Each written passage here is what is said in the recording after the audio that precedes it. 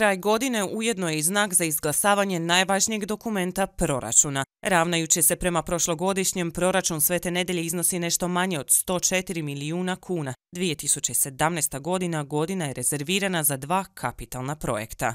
A što se tiče rashoda, imamo nekoliko kapitalnih objekata koje ćemo pokušati napraviti.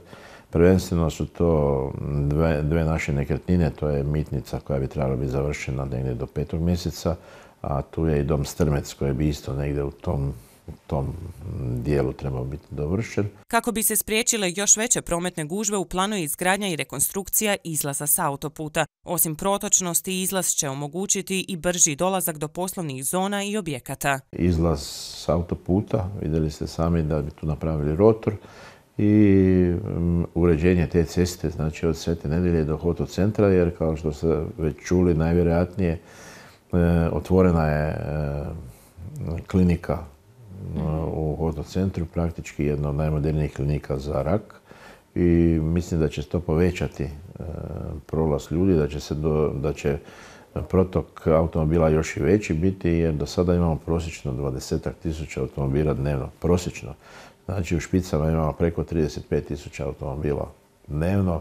To je veliki, veliki izlaz autoputa i moramo nešto, morali smo nešto poduzeti da bi se tu napravilo. Jedan od kapitalnih projekata koji će omogućiti bolju prometnu povezanost, osiguravanje ulaska na autoput prema Lučkom. To je u suradnji sa Ministarstvom prometa i sa autoputom, autocestom. Mislim da ćemo to uspjeti isto pred kraj godine ili barem početi ili možda čak i dovršiti. Svi navedeni projekti od iznimne su važnosti za poboljšanje kvalitete življenja u Svetoj nedelji, ali su ujedno i financijski vrlo zahtjevni. Nije ispod 3,5 milijuna kuna, znači to je minimum.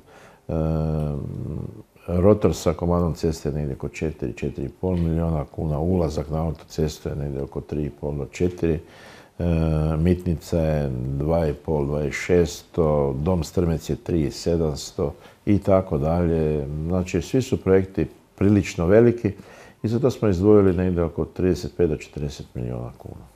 Posebna pozornost u 2017. godini bit će posvećena Napoleonovoj mitnici koja će zapravo postati informativni centar. Ključni projekt ujedno je i projektiranje osnovne i srednje škole u Strmcu, ali i novog vrtića. Mitnica bi trebao biti e, informativni centar turističko-informativni centar ili informativni centar Svete nedelje. Znači praktički bi se unutra sve mogla saznati u Svetoj nedelji a škola bi trebala biti osnovna i srednja škola. Znači osnovna i srednja škola, s tim da bi se unutra bili takvi odjeli koji bi bili namijenjeni da bi se školovali ljudi e, za struke koje nam trebaju ovdje kod nas. Mi imamo jako puno poduzetnika i dosta šaroliko društvo, tako da stvarno je problem naći radnika u Svetoj nedelji, ali više nije samo u Svetoj nedelji, sad je problem naći radnika i u Hrvatskoj. Budući da Sveta nedelja prednjači po broju najmlađeg stanovništva, potrebno je povećanje vrtičkih kapaciteta, što je jedan od planova za 2017. godinu. Naš opis posla je daleko e, kompleksniji u predškolskom odgoju i tu stvarno se izdvaja velika, velika sredstva i nadam se da ćemo idući godini imati i građansku dozvolu za proširenje vrtića.